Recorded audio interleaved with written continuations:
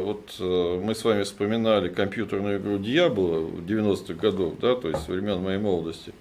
Там на одном из уровней, вот, э, там спускался, как герой там с топором спускался ниже, ниже, ниже и рубал всякую нечисть.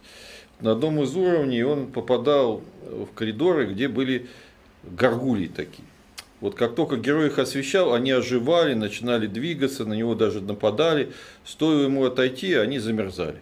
То есть замирают. Возвращаясь от горгулей к реалиям. Вот у нас мне, вот наши власти мне напоминают вот таких горгулей. Вот когда их особенно хорошо тыкают под задницу каленым прутом, они вздрагивают, начинают что-то делать, чуть-чуть полегче стало, то есть там зарубцевалось, там вот как бы не так активно, они тут же просто замерзают и ну, пытаются ну, делать все так же, как они делали до того. Ну,